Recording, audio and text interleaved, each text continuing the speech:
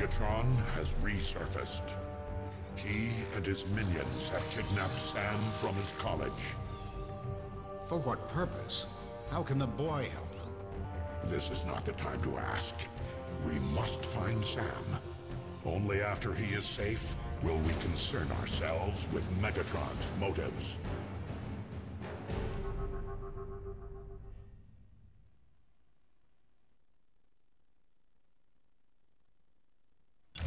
The Decepticons have taken Sam to an industrial park near his college.